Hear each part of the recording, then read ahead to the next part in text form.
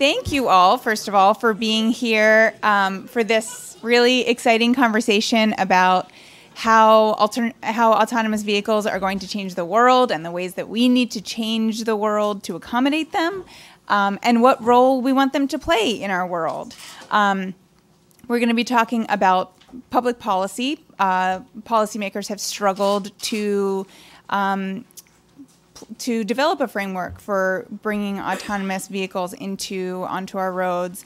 Um, the House of Rep- to catch you up quickly, the House of Representatives um, overwhelmingly passed a bill in 2017, uh, which got bogged down in the Senate last year and died there. Um, the Department of Transportation, as you heard from Derek Kan, has published three versions of uh, voluntary guidance, but no binding regulations. Um, so that's kind of the the uh, environment that we find ourselves in right now. Um, I'm Tanya Snyder. I'm a transportation reporter uh, for Politico Pro. Um, hopefully, you all subscribe to Politico uh, Pro Transportation, or at least read Morning Transportation. And if you don't, come talk to me afterwards. Um, and I want to introduce the panel, too. To my left is Tom Madrecki, Vice President of Supply Chain and Logistics for the Grocery Manufacturers Association. Uh, Beth Kigel, Vice President at HNTB and Director of their Smart and Connected Solutions Program. Baruch Feigenbaum, Assistant Director of Transportation Policy at the Reason Foundation and Jyot from the New Urban Mobility Alliance at the World Resources Institute's Ross Center for Sustainable Cities. Uh, she leads NUMO's work to develop partnerships on tech and mobility. Um, so thank you all for being here. Thank you all for being here. Um, I want to start with this question of not just the ways that we need to transform our cities and places for autonomous vehicles, um, but the way that that we can put them to work to make our cities and places, the best cities that they can be. Um, you know, we we hear a lot about potential benefits and that that seem to um, solve a lot of the most vexing issues that cities have about congestion, emissions, safety, access, mobility. Um, how can cities best put these to work so that you know we are not just sort of making space to accommodate what industry wants to throw at us, but that we are using them for our for our own purposes? Oh, and uh, we can start with Beth on that, actually. Okay, can everyone hear me? Can you hear me now? Can you hear me now? Okay, great. That's why it helps to be flexible. Well, when it comes to uh, one of the things that I'll share with you about my background is prior to coming to HNTB, I was a Florida Transportation Commissioner for seven and a half years, and I led a Chamber of Commerce at the same time for about seven years. So I, I come at this from a little bit of a different perspective, kind of a combination of policy, technology, and then understanding community engagement and economic development and quality of life issues. So, first and foremost, I would say we, we heard a lot about, we all here today, we've been educated quite a bit, I think, on, on the things that we've heard. Think about some of the localities out there and how much they do not know and understand. So, in terms of what cities can do, cities, first and foremost, can start to really become educated on uh, the benefits and the risks of what is happening with autonomous and connected technology. Uh, the other thing I would say is to be open to actually bring pilots into your city. I think that's critically important because not only is it something that might help the AV entities, but it also helps you learn more about your city uh, where the pitfalls are and things of that nature. Where do you need to improve? Uh, Miami and, and Ford had a really great relationship when Ford came in with their AV testing down in Miami. As you might expect, a very congested environment, just an interesting place to test. So great uh, information for all to get.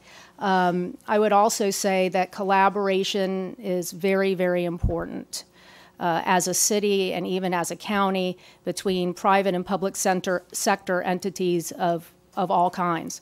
Uh, I led a chamber in Palm Beach County. We actually were able to immerse all of our entities in uh, an education about autonomous connected vehicles as well as smart city technologies. When you start bringing together not only elected officials and administrators from cities, not only uh, private sector participants, uh, including hospitals and, and others, you start bringing all of them together along with the Urban League and what have you, really start to get an education about how these advancements can really advance a locality and be better for quality of life. And I heard earlier competitiveness, because we are in a global market and how our quality of life stacks up and what kind of efficiencies we have within our regions and our localities, the more competitive we're going to be as well. Great. Um, whoever wants to take it next. Um, I, I, think just building on what you said, I think that one of the, the really important things to also consider as a city, um, and as you like proactively consider uh, the deployment, like the future deployment of AV technology, um, is that this is, isn't occurring or isn't going to occur in a vacuum. Um, and so there are many different things happening sort of all at the same time, right? So if you have um, just the the tremendous sort of growth and and demand for e-commerce delivery, for example, I in, prior to my role at GMA. Um, was the director of urban innovation and mobility at UPS, and so I would talk to cities all the time about just the, the tremendous influx of demand that uh, curb spaces is, you know, and the sort of the strain of that physical real estate asset in a city and how that's that that demand shift is shift is happening. Um, you have the emergence of micromobility. You have the emergence of TNC. Like all of these things are happening, and so you can't. I, I think just say, say like, well, let's take the AV bucket or let's just take the TNC development. All of this is happening at once, and so um, as a city, I think you need to adopt this very sort of like integrated, uh, proactive view. So I would say, I think one of the the questions is what about cars? Because obviously cities have got concerns about congestion uh, and about mobility, and as as was mentioned about the curb space, because it's going to be a lot of competition. And so our approach at Reason, not surprisingly, as a free market approach, um, has been pricing. And I know it was mentioned a little bit on the past panel, but I think there's a lot you can do with pricing. Uh, if you're worried about zero occupant vehicles, sort of the uh, the zombie cars as they're sometimes called, roaming around, then you can price those vehicles higher. If you want to encourage carpooling, uh, you can price those vehicles lower or not at all. Now, we don't have a great history for carpooling in this country. There's a lot of hope, and Alan Kornhauser at Princeton has spoken on this, for those of you familiar with him, that with some of the automated vehicles and the improvements with ride sharing and what we see even today with smartphones, there's going to be a lot more of that. We also have to talk about the 800 uh, pound gorilla, which is transit. And obviously, in some metro areas, New York, DC, others, transit as we have it now works okay. I'm not going to go quite as far as Cliff went and said it's a, it's a total disaster, but um, it, it needs a lot of improvement in a lot of places, and it's not great. And I think automated vehicles can do a lot of that in terms of maybe getting rid of the labor costs down the road, uh, looking at smaller vehicles, right sizing. I think partnerships uh, with the, the private sector is going to be important as well, working with Uber and Lyft for some of the low density routes. We say that already with first mile and last mile. Uh, so I, I think uh, pricing for cars and figuring out how we can make transit better are, are two important things. Um, is that on? Is it? Okay. Um, so I think um, I'll focus a little bit on one, what Tom brought up, which is uh, on micromobility. And I'll just take a quick, quick poll. How many of us have been on a shared scooter or a shared cycle? Okay, that, that's a lot.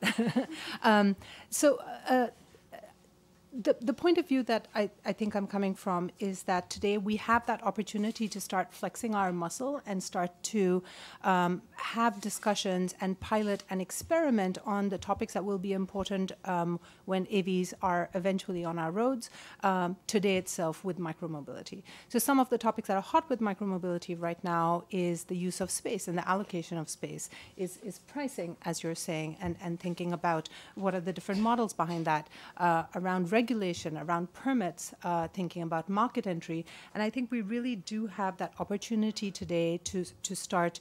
Um, laying some of that groundwork for when AVs um, are, are, actually on our streets. Um, where micromobility and AVs differ, though, I think, is that in the current ecosystem that we have today, AVs could very well fit into the space that we have for personal cars. Um, and I think that we do have the opportunity today, cities and, and other stakeholders do need to come together and think about like how do we use this this moment in time to really think about the goals for our cities and what sort of cities we're trying to trying to um, uh, you know, live in. Um, so we, we would really push for cities uh, that are active and are shared in terms of mobility. So thinking about a 20-minute neighborhood, um, we think that um, clearly land use and planning plays a really big part of making that happen. Uh, but a lot of these new mobility entrants are starting to um, add to the possibilities in that space. So I really think that um, engaging on the topics that are at hand today uh, gives us that platform to be able to get our cities into a position that we have the right uh, sort of infrastructure, we have the right public-private partnerships, uh, we have the right um, um, uh, mode choices uh, that we would want uh, for different types of trips and different types of purposes and different types of populations. Um, picking up there a little bit, how as we as we think about remaking our infrastructure for a new autonomous era, how do we avoid some of the um, mistakes of the highway era, where um, highways were built through low-income neighborhoods, where they accelerated sprawl? How do we make sure that we are working um, sustainability and social equity into that infrastructure?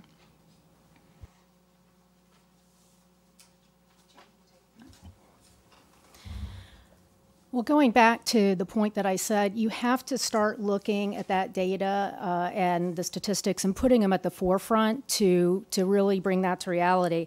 Uh, one of the things that I would talk about, uh, since I am from Florida and I served on the commission, Florida actually is embarking on its Florida Transportation Plan, and they're putting some of those statistics right front and center with all of the stakeholders that are looking at it. So, looking at how many people live within a half a mile of a health, healthy food source, looking at how many live below the poverty, uh, excuse me, the poverty line, how many households uh, do not have a bank account. Actually, 8.4 million households in our country do not have a bank account. Uh, transportation in Florida is the third highest household cost for a family. 56.5% uh, of our residents live within a half a mile of fixed route transits. That means the rest of them don't. So we're actually putting those issues at the forefront and having those discussions so that that is part of our overall transportation and smart city planning. So social equity is becoming uh, more and more a hot topic. I mean, it's a national discussion relative to this and, and others. So the more leadership that's taken within our communities and our states and et cetera on this, the more we'll include those in our solutions. I guess I will just say, um, to be a little contrarian here, after the first answer, we have to realize obviously the highway building era had some real problems in terms of building through neighborhoods. I mean, there's a situation in Atlanta where there's a highway that actually takes a curve when going straight would have been the cheaper and more direct route because they were trying to separate the low income minority from the central business district. That's a pretty awful policy, and we certainly want to find ways that we don't do that. Um, in anything really again uh, and I, I think looking at the overall costs you know, in some ways, the federal government can actually be a problem here because to the extent that it is incentivizing certain policies, when it was incentivizing highway construction with a large federal share, uh, cities were sort of uh, doing uh, and states were doing what the policy designed them to do, which is build roadways, even if it wasn't necessarily to logical places or it wasn't the most cheapest the cheapest place um, because there was that incentive there. And so we have to make sure we're tapping the right federal incentives but I will say we don't want to forget that highways and roads in general move the vast majority of folks. Certainly lower in cities and certainly lower in DC and New York than in other places around the country. But even if the automated vehicles are shared, they are still going to be on roadways, and we have to make sure we have sufficient capacity for that. Um, I think to add to these points, uh, I'd also say that and, I'm sure this has been covered in depth through the day. Sorry, I couldn't be here earlier. Um, but that we have the opportunity today to just rethink what a vehicle looks like as well. And many of of you in the room are engaged with that. And so we have that choice to think about um, uh, wheelchair accessible service animals. H- how are we going to build vehicles to allow for that, that level of access for all? Um, but I, I think the, the, the point also goes back towards is there political will? Uh, is there general will? Uh, what is our mindset uh, ar- ar- around these topics? Um, and on the subject of like political will, I think that, and I'm going to go a little philosophical on this, but I think that uh, part of like demonstrating political will is also the ability to, to sort of step back and to say that um, like you don't make infrastructure equitable. You start with equity, uh, and then you would you would sort of sort of underline or, or, sort of think through well what is it that you even want to achieve in the first place or do you need that infrastructure to make that connection. It's sort of like you start with that equity goal, and then you're finding ways of moving people around um, rather than just being like, well, we need to build a bunch of roads um, because we need AVs. Oh, by the way, we need to incorporate equity as a part of that. Um, I think it's just like a, a philosophical reorientation. I think that's what I was trying to get at with that first question, also of, you know, what what are the problems that we're trying to solve, and we figure that out first, and then figure out how AVs can help solve those problems, rather than say they're coming. what do we do? Um, I wanted to ask, uh, maybe at the risk of fixating too much on Tesla, um, you know, Tesla's had several high-profile uh, fatalities. Um, Uber, obviously, the self-driving car that hit a pedestrian uh, last March. Um, how have these very high-profile and, and understanding that you know we have 37,000 deaths on our roadways every year, but these get a lot of attention. How do these incidents change or impact the approach that cities are taking uh, to the cities or states are taking to, to regulating or embracing driverless technology? Start with you, Beth. I want to look at this first from a little bit of a different angle um, because we heard earlier today about how the uh, the OEMs are responding to this as well. I think what this is doing is this is raising significant awareness that uh, this is not as basic and as simple as many thought. I mean, when you're when you're trying to replicate the human mind and the decision decisions that are being made that way, it's very complicated. So actually, in talking to some some of these OEMs, they have uh, pulled back and they have really intensified their testing processes. Some of them have their own tracks, in fact, and they're putting them through much more uh, rigorous testing. And uh, one of the things that I think is recognized, uh, we actually did a national survey that dealt with a number of items, including public acceptance. So we found out that uh, 50, uh, 52% of the people that we surveyed with the national sample pool actually um, believe that the greatest uh, benefit from all of this is increased mobility for non-drivers. So that's a number one benefit, and then uh, safety is second. But how the public actually responds, whatever their first experience is with an autonomous vehicle or any of these other modes that we're talking about, is going to really shape things. So, just like we heard earlier, if there is a fatality, with an AV that's being tested on a road, that's going to affect the whole industry. So there's pullback on that side. I think we're seeing uh, a little bit more patient uh, patience uh, within our communities and on the public sector side, and appreciation of that. So I would say to directly answer your question, I hope they don't because I know it's easy to look at something like the Uber crash and say, boy, this is a dangerous technology and we shouldn't do it. But as has been was pointed out in the last panel, 37,000 lives a year is a lot of people that die. And even if automated vehicles are able to reduce that by 50%, that is still a tremendous improvement. Now, I don't, we, we all hear the statistic, I guess it's 94% of crashes are caused by humans. And the reality is that while a lot of those will be gotten rid of, probably not all of them, and AVs may introduce some new crashes. So I don't, I don't want to be too Pollyanna here on the, on the options, but I do think a 50% improvement is better. And I do think it would be helpful if there was some, some federal Uh, the legislation, the, the Self Drive Act, I happen to think it was a good bill. It wasn't perfect. Now, I can say there were folks on both sides of the spectrum, uh, folks who thought it went too far, and also someone who's worked on AVs for a while, um, whose name I will withhold, that said it thought it was an abomination. Uh, that being said, passing legislation is very challenging, and I think it would be a good start because the federal government is the one that has traditionally done with safety, whereas the states do with licensing. And I think if we introduce new dynamics where states and local governments are specifically looking at the safety of vehicles, I think that's problematic for a lot of reasons, including the number of different modifications that the OEMs would need to make to vehicles. I think just just adding to that, uh, to the to the good point that you were making, um, you know, you, you look at the number of deaths that are accidents that have taken place with AVs, and that's in the well, you can you can count them on your hands, um, or one hand. Uh, you look at the number that are caused by you know when you're when you're walk or when you're on a cycle or on a scooter, uh, you know, and and then you sort of like in scooters you're probably getting to around the tens, and then cycles uh, and and and cars and pedestrians goes up a, a lot higher. And it's it's always interesting to see the uproar that's caused by by the one or the two uh, versus just the complacency with, with the everyday. Um, but uh, aside from that, I think that it's also interesting. I, I, I, can't speak for Tesla, but I think it's interesting with some of these other uh, new mobility companies like Uber and Lyft uh, about how they're becoming.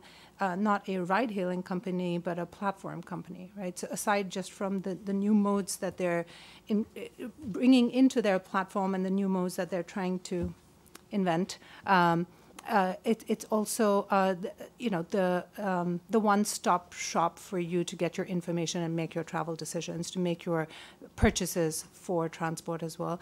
And I think that when companies start thinking in that sort of holistic way about the, the entire transport ecosystem, uh, that starts to position them, or I'm hoping that starts to position them differently in the minds of people rather than honing in on only, only like that one accident uh, that took place. Not to minimize any death, but um, I think that, that that sort of thing is taken out of context, out of proportion. Um, I want to ask also, um, and Baruch, we'll start with you because uh, I want to ask about federal regulation. Obviously a a, uh, a lot of people think that that the bad PR that goes along with a fatality is is enough incentive for uh, for OEMs for AV developers to wait until the technology is ready. And like you said, how re- when is it ready is a, is a, an open question because you know even if they're going to improve things but it's not you know they haven't worked out all the kinks if they're going to make it 50% safer maybe it's ready. Putting that aside um, a lot of people also look at it and say you know when we're looking at corporate accountability we also have takata airbags we also have vw emissions cheating. You know can we rely solely on corporate self policing. Um, is there a role for the federal government to sign off on these vehicles before? Uh, and I realize that this is that this is something that no one in the federal government seems to have much appetite for. But I think that when we see the kind of reservations that the public has about this, um, maybe it's a conversation worth having. Sure. Yeah, I, I, I think that's a very good question. And couple thoughts. There are some, obviously, the state of California requires certain things that the automakers have to do, and many of them are, are in fact testing there. And there is the self certification platform where the automakers do have to show that their vehicles are testing, and the federal government does have to approve that. So there's a little bit of that. And, and, should there be more? And I guess I would say not at this time. And there's a couple reasons for that. So, first of all, the Uber crash was awful. And I think nobody was more upset with it than me. And the reason I was upset with it is because I really believe that these companies have a responsibility to put safe products on the road. And clearly, that's not what was going on. This Uber vehicle was clearly not ready for prime time. The good news is, I think the market and also the state of Arizona punished them for that action that I think was honestly a far more punishment than they would have gotten from the federal government if that was the only thing they could have gotten. And the other challenge goes back goes back to the, your part of your question, which is does the federal government know when these vehicles are safe enough? How do you prove that? How do you weigh the cost benefit of potentially a loss of life here versus getting the car on the road sooner and doing the loss of life there? I don't know. It's hard to say. I don't have confidence that the government would have enough information to actually weigh that correctly.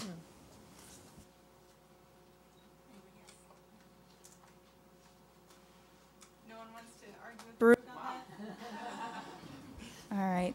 Um, the uh, the federal the Senate is about to mark up their uh, five year reauthorization bill. And getting back to infrastructure, Derek Kan said infrastructure is um, not an enabler, but potentially a blocker. That it is something that can get in the way of the um, the deployment of autonomous vehicles, though it can't necessarily kind of um, conjure them. Uh, you know, if we're if we're about to set policy for the next five years of um, highway policy in the United States, what what should the Senate, what should Congress be looking at now um, that that in the next five years will need to happen?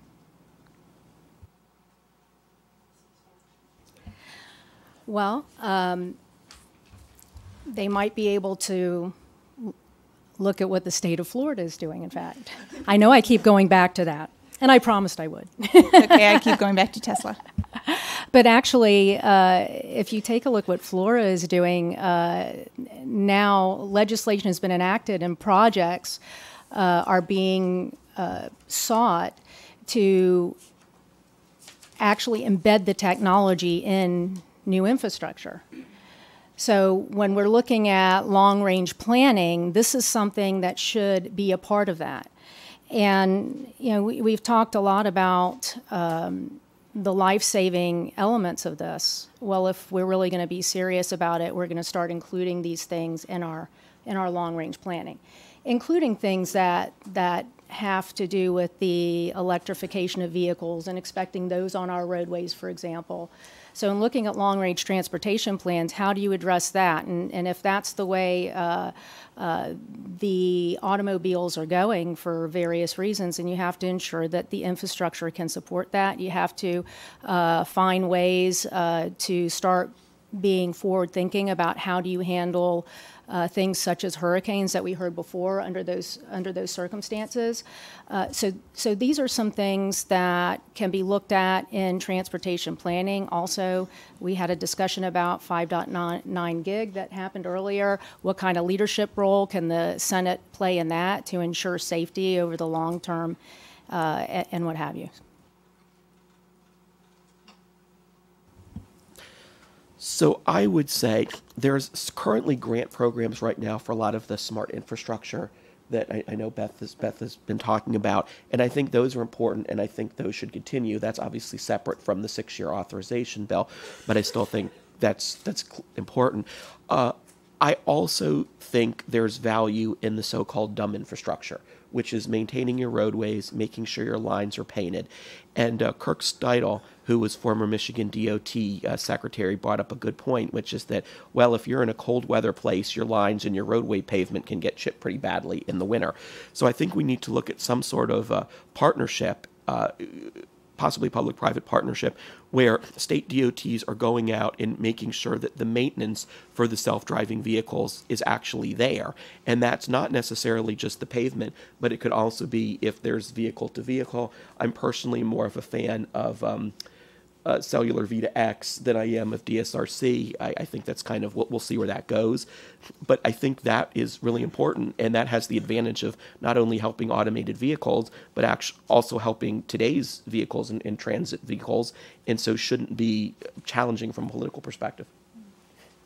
Um, and just to add on a little bit about you know like uh, targeting like dumb infrastructure or like taking more of like a, a nuts and bolts approach, but I, I, I do think that there's a, a, degree of to which that you can sort of write in um, some degree of prioritization around um, specific uh, it could be a freight pinch point. It could be particular areas where where spending money matters. And so a lot of states have done done this in terms of like right sizing infrastructure projects and thinking about well what is currently in the pipeline and, and do you actually need the ninety million dollar project or could you accomplish ninety eight percent of it with a nine million dollar project? Um, and so I think that there's ways of, of, sort of building in that philosophy of prioritization and then right sizing um, into to how the actual reauthorization is structured. Um, I, will just pick up on the point that Beth was making about hurricanes, and I'm I'm wondering what the opportunity is to look at uh, funding resilient infrastructure in cities and marrying that with the recreation of transport infrastructure that's needed as well. Um, and I think that um, that that there are um, there's common cause with a lot of these sort of new mobility platform companies that are looking at streets that are uh, slower, that are looking at um, uh, at, at uh, rethinking sort of street allocation. Um, and I, I, think that bringing some of these moving parts together can actually sort of spur that forward. Um, I've been sitting here trying to think whether I want to go down the rabbit hole of 5.9 gigahertz that you brought up, Baruch, and I let's go there for a minute. Um, so, uh, so the FCC is still kind of in this decision making process about whether to reserve this kind of safety band for vehicle to vehicle or vehicle to infrastructure, uh, transportation, communications. Uh, it's very underused right now.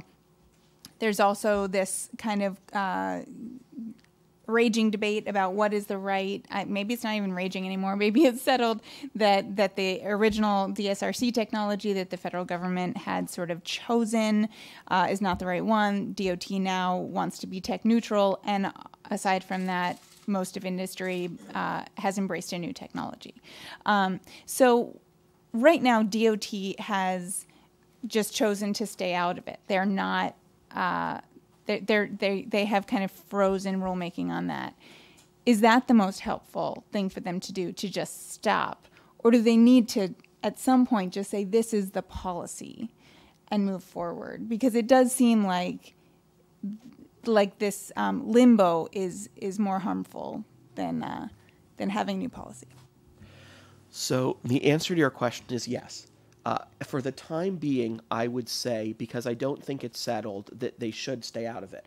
But yes, at a certain point in time, and of course, I wish I could tell you when that time is, and I don't know, we, we do need to choose a technology because we can't just go on this forever. I think the rationale for staying out of it right now is that as it stands currently, DSRC would be more effective because 5G V2X is not ready for prime time.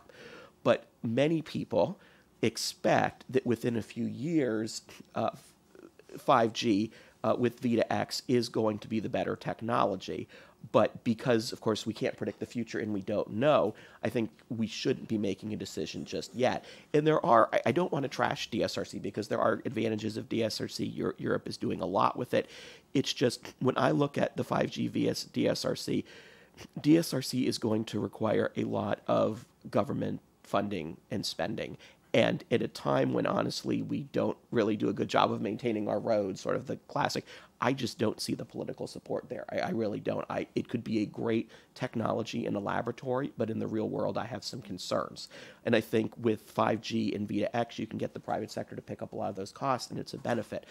I would say I am generally supportive of keeping the wireless spectrum in the DOT.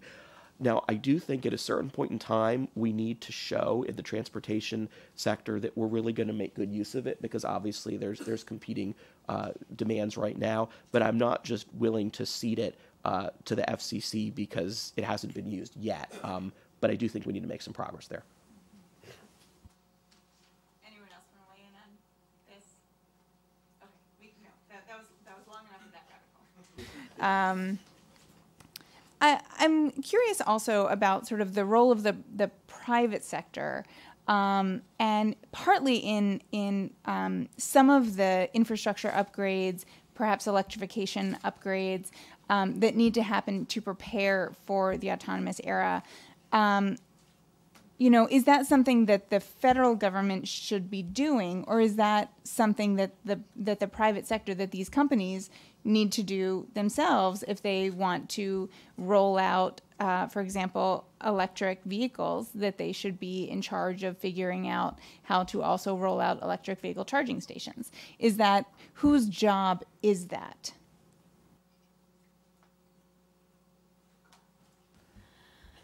Well, I, I don't know that it's limiting, that it has to be the private sector or the public sector. Um, I think it can also be partnerships between the private sector and public sector. It's just like uh, we were talking about before. There are certain conditions and situations that uh, for electric vehicles and electric charging stations, if those are going to be installed and you have a significant amount of your population dependent on that, then you have to make sure that you have uh, a resilient infrastructure that can accommodate that. So when it comes to uh, the the overall resiliency and and safety, that's usually something that is a public sector responsibility. But I think you can work very closely in partnership with the private sector because there are definitely some benefits, uh, even benefits from the standpoint of uh, if you're implementing infrastructure that includes sensing technology and data collection te- technology and whatnot that data that's collected can be very valuable also to the private sector. And that goes to a whole other discussion about data generation, data sharing, you know, who owns it, that, that sort of thing. But I'm not so sure that that is a singular answer. I think there can be a tremendous amount of partnership in that. And, and I think it, in, inherently it, it almost has to be uh, a partnership. Um, charging, like fast charging a class eight uh, tractor trailer uh, essentially requires the same amount of energy that's that's used in a single day to power a Walmart. Um, so, like, even if you were going to have a fleet of Class A trucks, right? Like, you, you sort of need exponential uh, demand that you're putting on the power grid, which which would seem to imply that if, um, like, let's say my former employer UPS was wanted to to roll out a bunch of trucks.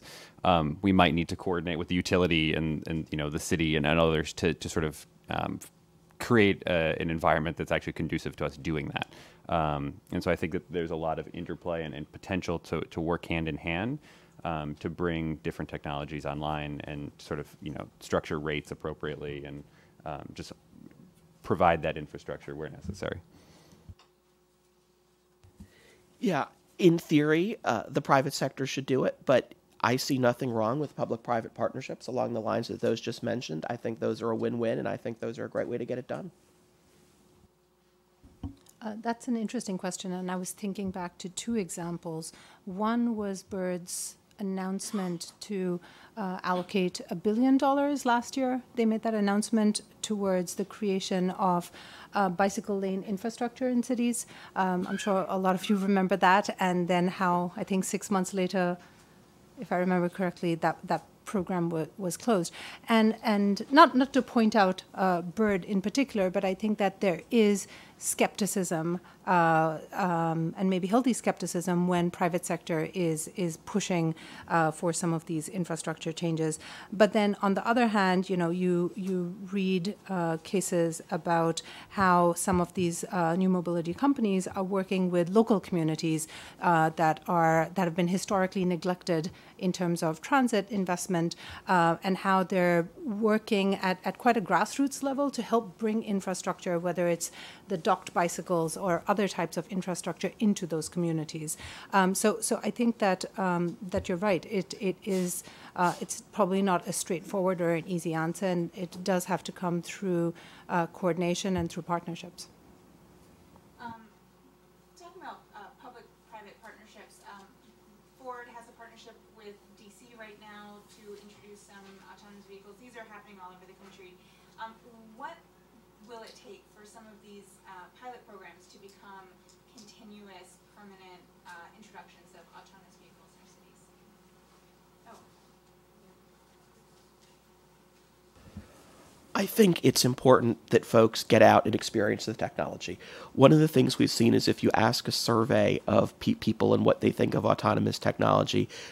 most folks are usually negative, and they're negative because what gets the coverage is what happened in Arizona, as opposed to the number of successful rides that another one does, because that's really not very interesting or newsworthy. But we find that when folks actually ride in these vehicles and find that they're, you know, not altogether different from today's vehicles and they're not taking them around corners at 50 miles an hour and crashing them into other vehicles, they become much more supportive. So I think the pilots can sort of build on themselves and I think it's important that the pilots go to different places in the city, not just one select. I know oftentimes it can be easier just to geofence it and put it in one place to start. And I think that makes sense. And obviously, many of these vehicles are what they call level four on the Society of Automotive Engineers scale. They're not going to be everywhere, but moving them around to different neighborhoods to increase support, I think, is really important.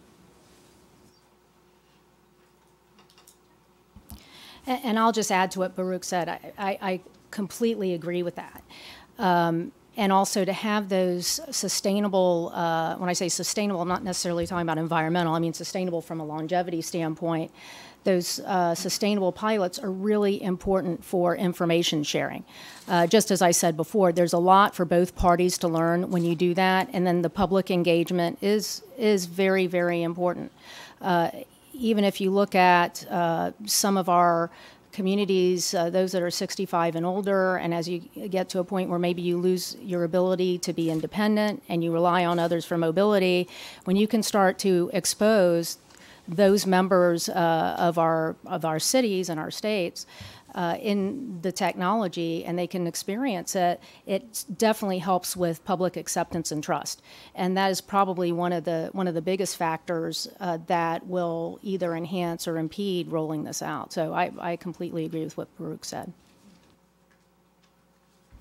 Um, I'd add um, and say that in addition to these pilots, or in conjunction with these pilots, that I'm hoping that there are there is robust discussion around what are the goals that those cities uh, are trying to achieve. So not just simply procuring a widget, but rather thinking about what is the, the challenge and, and what is the solution that they're, they're hoping um, to, um, to experiment around.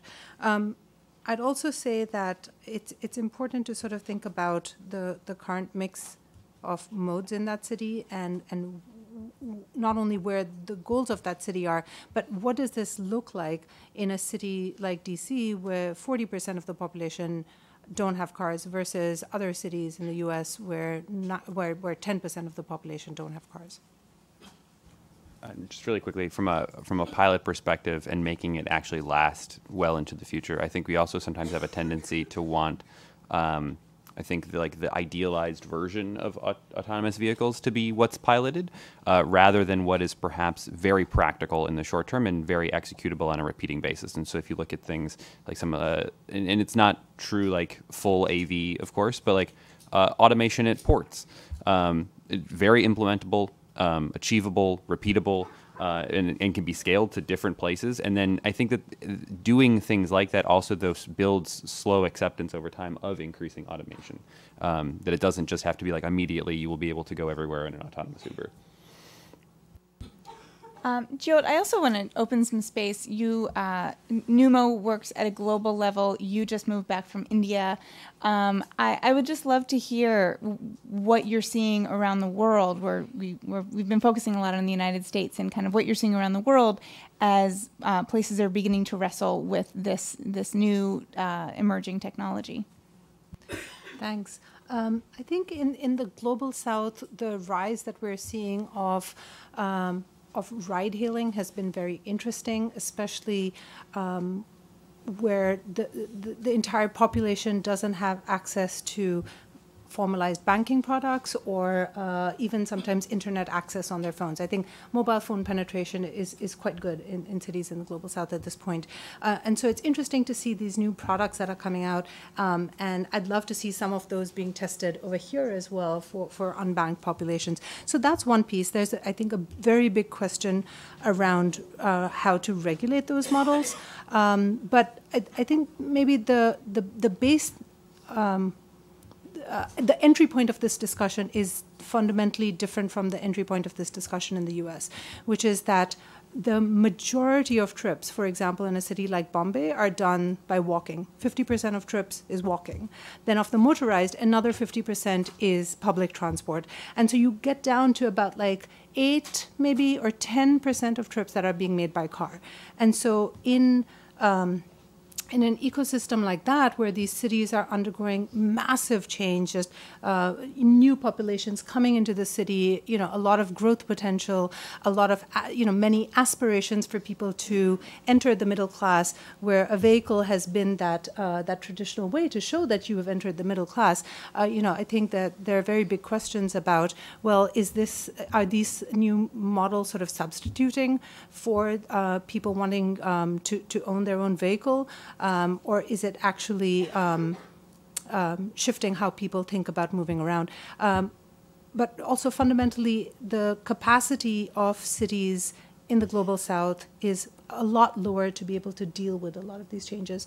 So, uh, you know, the, the handoff of what would be done by the public sector and the private sector, I think, is a bit more stark over there. Um, aside from that slightly depressing story, I think that there are also just really exciting things happening um, around how we think about informal transit and paratransit in African cities, in Indian cities, um, data standards that are being developed off of those, uh, how we're thinking about, uh, you know, utilizing uh, motorcycles as taxis uh, as well, very large operations of those uh, emerging. So th- there's a lot of innovation that's taking place. Uh, but I would say just fundamentally it looks a bit different than what's happening in the US because of that, that, that mix, which is very different, and the affordability, which is very different. um, I, uh, I'm kind of re- oh. sorry. Um, I'm kind of reeling from the uh, mode share that you just described in India. I mean, 50% walking, 8% single occupancy single occupancy vehicle, if those even were single occupancy, um, is some is just so opposite from where we are. Um, and Baruch, you also mentioned how uh, autonomous technology can be helpful in transit. I think that. Uh, a lot of there's a lot of concern that autonomous technology like TNCs can um, increase congestion because when if if um, taking your own door to door vehicle uh, is is the most is the cheapest, most efficient, most accessible way. Then then what are the incentives not to do that? Um, so I would love to hear more about how. Um, autonomous technology is going to get us closer to 50% walking and 8% single occupancy vehicle, uh, and you know, and, and and is going to actually um, help the transit sector instead of uh, rendering it obsolete. Sure. Well, I don't think we're ever going to get to 50% walking in, in those modes, except That's maybe, sort of maybe a joke, New York City. Yeah, right, right. Okay. Well, just didn't want to get anyone's hopes up for that. Um, so first of all, as, as, as I think I mentioned, uh, I really believe pricing is the key. There's been a lot looked at urban growth boundaries, um, changing land use, and, and all of that can, can work in certain situations. But what we found is that what folks are most sensitive to is cost. That's what makes them change their mind. They're not, at least by and large, sensitive to nice societal goals as much as we might want them to. Uh, folks generally tend to be kind of selfish. Sorry for that downer. That's just kind of the reality. So I think that's important. I would also say we may need to change our mind on what we consider transit. Certainly in core DC, in core New York, the heavy rail lines are never going away. But in a lot of places where there, we have bus, uh, I'm a big fan of BRT. Um, sometimes I even look at, look at BRT. That may not be the future. The future may be smaller vehicles. The future may be, in fact, cars where we actually have four people in them as opposed to 1.1 people in them, which is basically what we have now.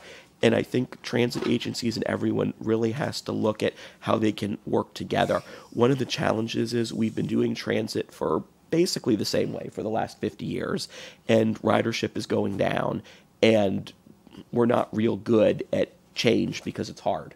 Um, and I'm hopeful that automated vehicles and some of these new technologies will be the impetus for folks to actually step out of their, their box. And we are seeing Jacksonville Transit Agency is actually doing some interesting things. They're testing some AVs instead of their, I think they had a people mover system. So some, some transit agencies are looking at new technologies, which is encouraging.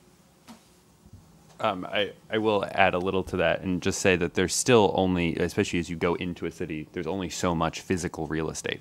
Um, and so it's, at some point, you're, you're sort of just talking about if you know you can fit X number of people in a in a in a on a bus, X number of people in a, in a transit line, X number of people in an automated car. Uh, like you sort of are still sort of stuck with some of those limitations, and so I think that that's that that interplay of available real estate, how that real estate is actually used and thought about as a city. Like how are you building this infrastructure to facilitate cars? Are you facil- Are you aiming to facilitate more walking?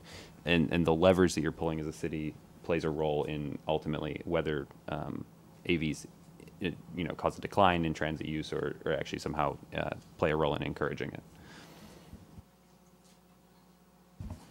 Um, I'm going to talk about curb space too. Um, Tom, you have a, a, unique take on this as both a, an urban bicyclist and a UPS driver. Um, and uh, curb space is becoming very um, crowded with uh, Ubers and Lyfts, with bike lanes. Um, there, there's just increasing competition, and it's becoming more of an issue. There have been pilot programs uh, trying to deal with this. Uh, just kind of wanted to hear what what we've learned about how to manage curb space um, in a place where people are uh, less kind of driving their own car and parking it and more being picked up and let off um, in case this hasn't come through yet, like, I tend to like often like take steps back from questions and then like think about it philosophically and then sort of go from there. Um, I, so like my take on this, and, and I had the luxury uh, and continue to do have the luxury of, of, talking with a lot of different DOT officials all across the country, um, thinking about you know what do you actually want to achieve, what are your goals. Um, how do you want your city to work and function? And so I, I just like straight up asking, like, what are your transportation priorities? If you just listed them out, and by and large, and rarely have this ever deviated, the answers I get back um, are that they care most about safety, they care about equity, uh, they care about shared mobility, they care about um, like basically making sure that their businesses stay in business and they continue to have economic development. And then they they mention single occupancy personal vehicles. And then I asked them, well, well, then why does every street in America look ex- the exact opposite, right? That there's there's personal vehicle parking, um, there's probably one loading zone, uh, I might, you know, there's no bus lane or like there, there's some other, you know, impediment to that. I'm to die crossing the street, uh, and nothing is equitable. So like the this comes like the the orientation of the curb, and when I think about curb, it, it's it's a political decision ultimately, and it's like demonstrating political will to say like, well, your curb doesn't have to look that way. It doesn't have to be, uh, you know, five. Uh, metered spaces that collect like a dollar an, an hour or something like that. You could you could blow up the curb entirely. Um, actually, I think that uh, DC's DOT is actually very progressive in this. One of the, the pilots that um, UPS, in conjunction with a startup called CurbFlow, launched and just launched actually in DC, um, is to really think about like, well, if you could take like the eight or nine uh, different spaces in a city that were particularly congested, uh, contributing to a lot of uh, double uh, truck parking, um, places like the wharf, if anybody's been down there, um, where it's really just not easy to get around uh, partially also because of Uber and Lyft drop up, and just say, you know, do we actually need that parking space, or do we just turn that entire curb into a giant flex zone essentially? And uh, eventually, I think the idea and the think the, the connection back to autonomous vehicles here is that as you start to think about uh, available curb space at designated times, you can integrate that with uh, whatever from an autonomous vehicle perspective so that you know when vehicles are going to arrive, you have available curb space for them, they're able to use that, uh, and then you know get on their way and, and move you know and sort of uh, better manage that curb use uh, accordingly. Um, but I think the ultimate thing, right, is like that you don't need to do things the way that you do things today. Yeah, I will say that like a lot of these issues, this is not necessarily new. It's just being maybe exacerbated by automated vehicles. I mean, we have problems today with, with truck loading and, and you know bicycling, bicycling and walking and all the rest of it. I will say, um, little plug here that I think 25 years ago, uh, my boss Adrian Moore um, wrote a book actually for Brookings um, that was called Managing Curb Space, and it's kind of cycling back around again. And not surprising, uh, pricing um, has a big part to do with it and who you're going to price and how you're going to do it. And uh, to Tom's point, making sure that you're having all of the various users come in there. I think very often cities don't necessarily consider the freight and the private delivery. I mean, we see this a lot um, with designing streets, and you know, you, you want to narrow streets um, because you want to encourage certain uses, which is great. But if your freight trucks can't get in there and make deliveries, that's kind of a problem. So making sure you have the cyclists, the walker, the freight delivery, the people who are going to drive their cars, the Uber, Lyft, taxis, all those folks involved, I think is important. Uh, I want to go to the audience for questions. Uh, does anybody have? Oh, good. Um, yes.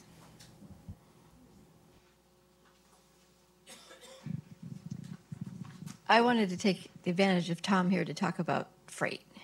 And the and since you're from the Grocery Manufacturers Association, especially, because one of the things um, I learned about freight is that the actual delivery driver oftentimes stocks the shelves.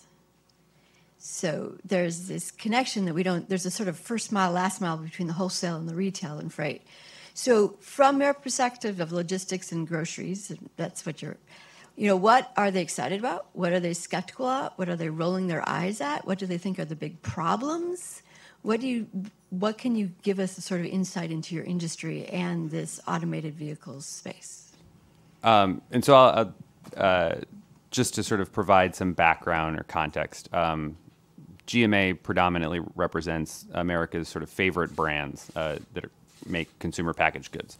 Um, it could be anybody from PepsiCo to Coca-Cola to Procter and Gamble.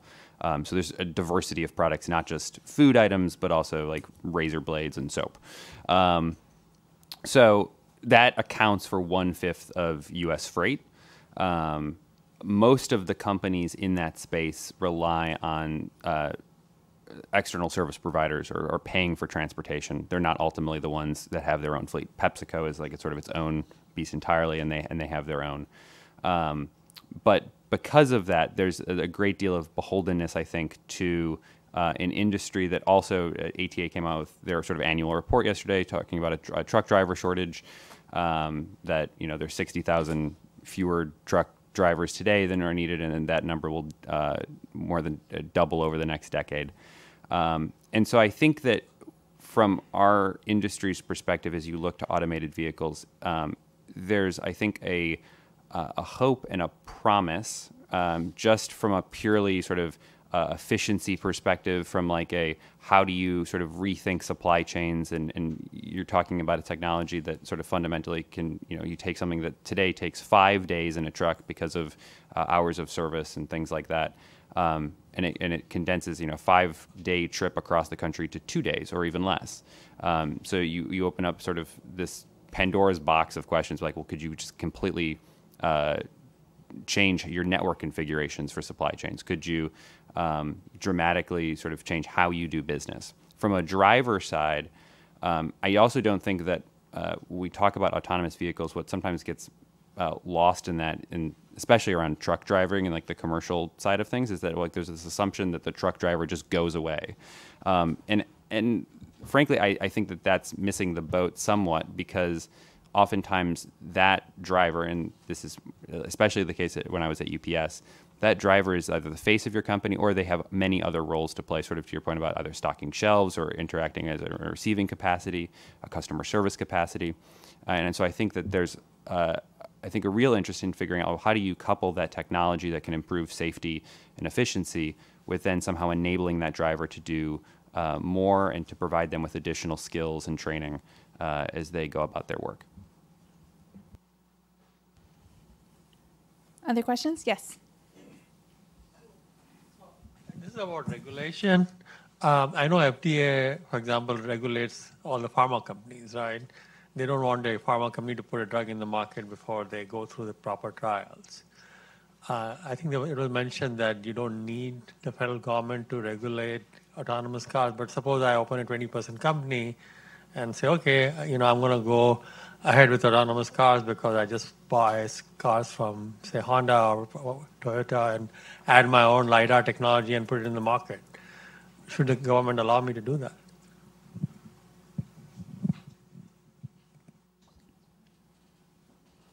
So let me just make sure I, I understand. So basically, what you're saying is, should the government allow aftermarket technologies to be placed on the car? I mean, or, or Or, or for that matter, allow anybody to put a car out in the market just because they can self-regulate themselves. Well, I guess I would say so. There's certain standards that vehicles have to submit to today in order to be uh, certified. There, there is a self-certification process. So I don't, I wouldn't say it's true that right now you can put any technology out on the market, and I don't think we'd want to introduce that. I like part of me likes the entrepreneurial aspect of that, but part of me also realizes there's a safety component as well. Uh, I think the process we has, have today works well. It's a little different than how they do it in Europe because it's generally not super onerous for the, the company, and so that allows smaller startups to do it. But there is a little well, there's more than a little bit. There's a, a safety component of it to make sure what's put out there isn't going to kill people.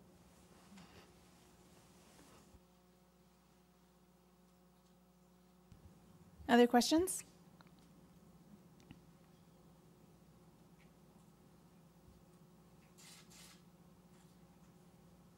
Yes? I knew if I waited long enough, somebody would have one.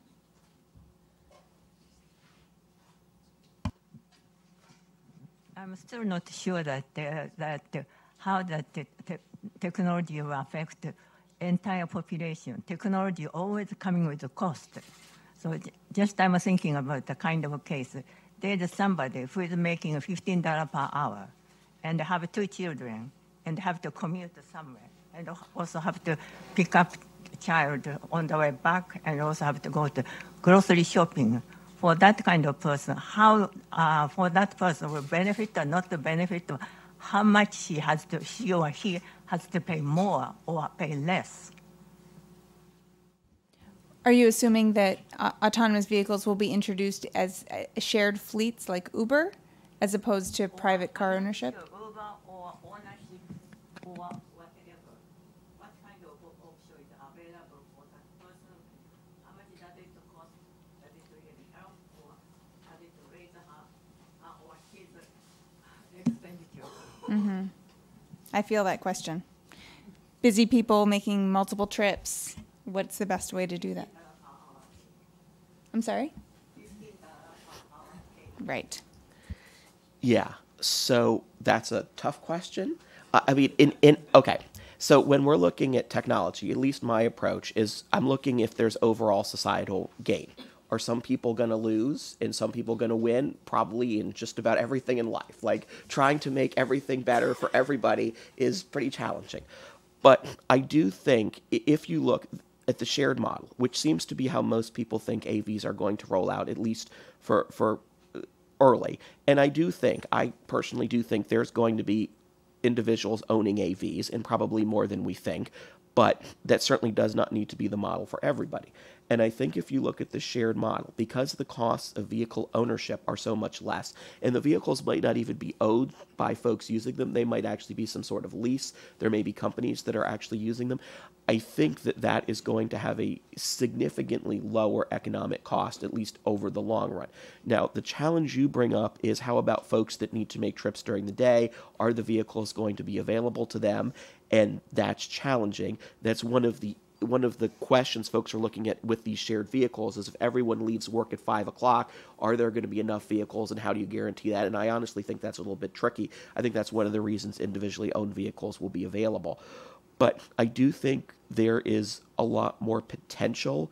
And there's also, we have programs right now uh, that are used uh, if, if folks, for example, take transit one way, but the transit doesn't operate back, um, or they're in, they're in um, van pools, which are where seven to 14 people share a ride, things called guaranteed ride home, where there's a way to get home or get someplace if they need to. So I think we can expand those type of things. I think we can make it work. I'm not saying we've got it solved right now, but I, I think uh, it's it's a very promising technology, and I do think it can make uh, driving more affordable for folks. People Can all I leaving work add at oh, something ahead. to that. Sorry. Sure, of course. I, I think your, your question is, uh, is um, prompting me to think about an inclusive design process. Um, and I, I think the private sector is much better at this uh, sometimes.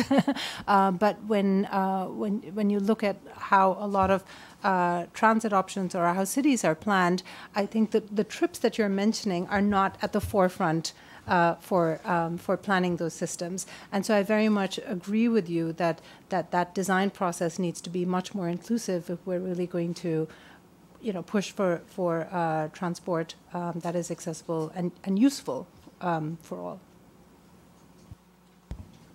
I think that that gets to the point also of, you know, what if we put equity first and framed all of this as we're trying to solve a problem of equity? We can add on top of that also congestion. We can add on top of it mobility. Um, you know, and then, you know, and then what is the best way for that, you know, parent of two working uh, a $15 an hour job to, to get around?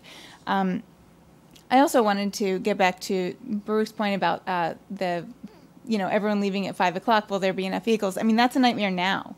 You know, that is an that is a, a failure of our transportation system and a failure of our ability to to work around it. I mean, you know, that's a you know, if if people just had more staggered work times, um, so much of so many of our transportation problems could be solved. Yeah, I mean, I would just say, and, and we've tried things. I mean, we've obviously tried to incentivize carpooling to get folks to carpool, and it's a little better in the DC region because the congestion is so bad. But by and large, um, we've not been super successful. I, I, as someone who gets to work from home a lot, don't understand why folks aren't willing to go in an hour earlier or stay an hour later to uh, avoid the peak congestion. And I know it's sometimes not that easy. You've got to pick a child up from daycare, whatever. But um, again, not to be a broken record, but I think looking at pricing, I mean, taking the, the I 66 lanes, for those of you who are local and familiar with that.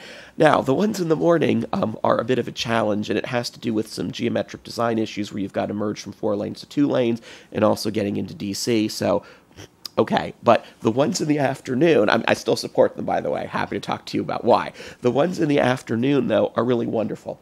And if you look at it, a relatively minor price of or no, maybe 50 to 75 cents per mile, has basically gotten rid of all of the congestion on I 66 westbound, leaving, going from DC out to Fairfax County, where I live. And it's actually kind of amazing because it's really not that much in the context of, of DC and, and honestly, a lot of the incomes here are fairly high, not all of them, but some of them. Um, and the problem, the biggest problem, is what happens when the pricing ends and you have congestion before and after because everyone is trying to avoid paying the price, which I totally get. But if you priced it 24 7, you would not have this problem. So there's a lot we can do with policy. I realize the political acceptance is very, very challenging. Um, but we can't, to your point, we can solve these problems if we really want to, I think. Any other questions from the audience? Yes.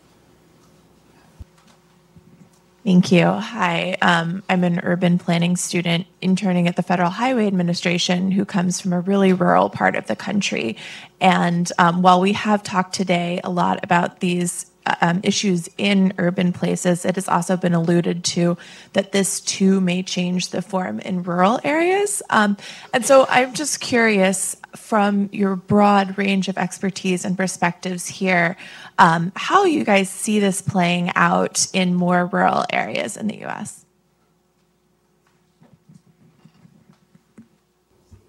It's going to be different.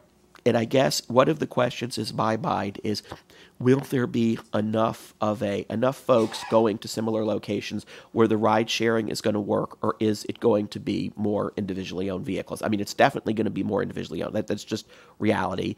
And obviously there's been some talk of electrification and, and i do think uh, Tesla says a lot of stuff, but their success with the Model 3 in terms of the demand and also producing it makes me fairly optimistic for electrification. So I think that's that's positive there, assuming the power source, of course. Um, we don't know is a question. We think for the exurban areas, there's going to be quite a bit of ride sharing. I think for the rural areas, um, I don't know. Maybe some of the new models can work to improve the transit service in the rural areas, which is, you know, basically non-existent. Um, or, you know, I mean, you, you could actually do a lot with dial a ride sort of type but it's going to be very different. And I think you bring up a good point, and I think it's going to come to the urban areas first before it gets to the rural areas. But that's obviously a politically sensitive topic.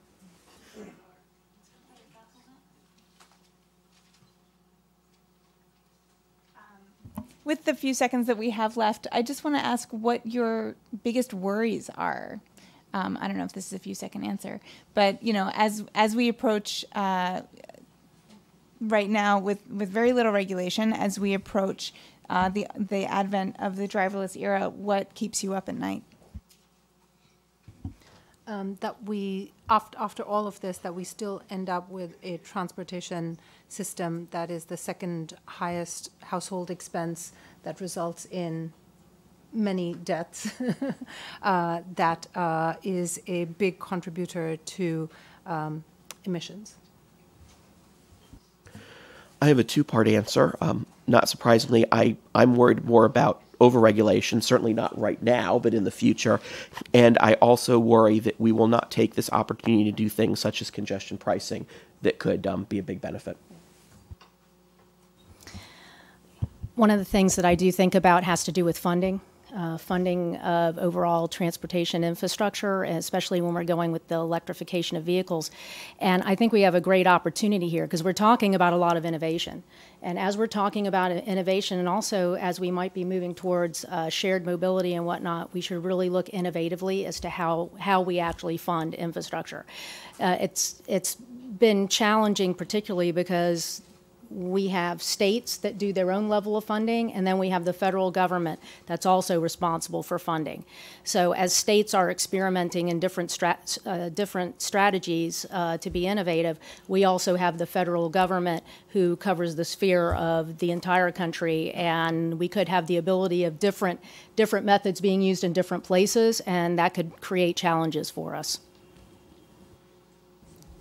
Um, I wish I could tell you that like political decisions were made just on the basis of fact and like uh, complete logic and like that that was. So I think that my fear is that uh, sort of like political realities and uh, the sort of you know the desire of people to appease other people um, gets in the way of some of the decisions that are crucially needed. Um, it could be to Baruch's point about congestion pricing or um, some other you know mechanisms of, of changing transportation um, but it can also be about just like the way that things are rolled out. And so, if it's more politically viable in the short term uh, to have a, a personal uh, vehicle uh, regulatory approach for um, for autonomous vehicles rather than commercial applications, which I actually um, and this maybe just you know yes I represent GMA, but I think that there's more viable short term options for commercial autonomy than there are for personal autonomy. Um, and but that's not a politically uh, viable thing necessarily to say. And so I think that the, the sensitivity there would have to be that um, just that you don't let politics get in the way of, of uh, actual progress. Well, that does it for us. Please join me in thanking the panel uh, for this wonderful conversation. Thanks for watching. Be sure to like and subscribe for more videos from Brookings.